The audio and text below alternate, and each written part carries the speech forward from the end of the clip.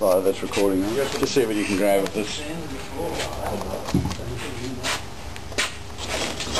Here's our calcium oxide, rock lime. So it's marble that's been heated. Heated to a thousand degrees for four hours. So I'm going to put it into this uh, drum of water. Can I have a look? See what happens. That cold rock. Let the light sit over. Yeah. So when it whirls and past it. Yeah. So it's uh, going around, so- absorbing water and chemically pushing out heat. So I've got to add it carefully so it doesn't uh, bubble too much. It's getting here. I reckon we overdo it. Just for one. Temp, temp bait. Careful, we can get I've got a, got a bucket of water handy in case it uh, spits on me. I can wash it off. There you go. This volcano.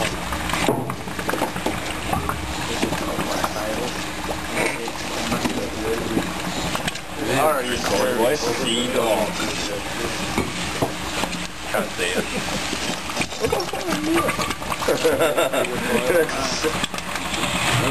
Look like the shake. So that was uh, 20 kilograms of rock heated to drive off 40% carbon dioxide. So it weighed just over 12 kilograms after we burned it. It's starting to spit now. Oh yeah. Steam coming off. Sick. Who's going in? Got to have shower. Yeah, you can do it, Simon. Pour it all in there. About here in room, If you poured it all in, it explode back in the tank. So I've got to keep it stirred at the same time to make sure it's got plenty of water to react with.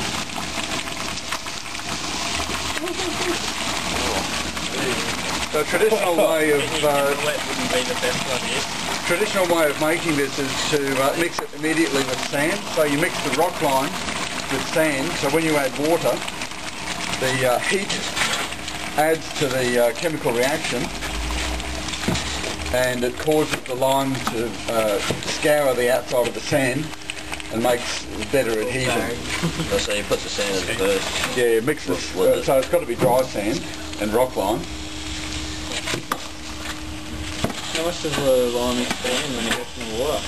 Well, it doesn't really expand. It looks like It just absorbs that water. So it's only absorbed the water that's in there.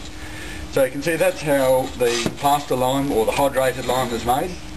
So that's drying out. So if I just left it like that, it would dry out to a powder. And that's really uh, free of lumps. It's just a nice creamy mix. So can you paint the wall with that? Yeah, so uh, painting the wall with a lime as hot as this is called uh, a hot poultice. so that was a that was a popular way until recently of cleaning a wall. If you had a dirty stone wall, you'd uh, take that hot mix and with a stick plaster it onto a wall, and the heat activates the minerals in the wall, and pulls it out into the lime, and then you pull the lime off afterwards and it pulls the dirt out of the wall. But it's extremely corrosive and it's hot, so there's our health and safety issues A lot with of putting it on the wall. yeah. And uh, I reckon in the end, just use soap and water, stuff that doesn't hurt your skin and it's not going to hurt the stone either. Looks like fucking mashed potato or something. Yeah, I'm going to add some water to this, so uh, I didn't add enough. Yeah, it's already reacted to a degree. I need some water, more water for the reaction. Just a bit more water from the tap outside. Sure. So the, the idea of aging it is to make sure that that chemical reaction It does look like it's Yeah. Oh, you can eat it, but it'll kill you. Ah. You can eat anything, though. not, not in tricks, sort of, I don't feel it, though. You probably feel like a liquid with that.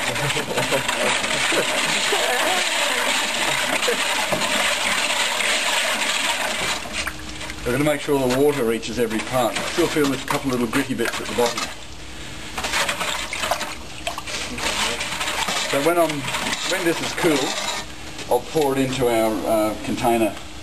Yeah, so I'll pour it into this one. I'm going to decant it from this container into the wheelie bin. And it'll be uh, able to be. I'm quite happy with that. I've taken uh, about three years to try and get the kiln right and the burner right.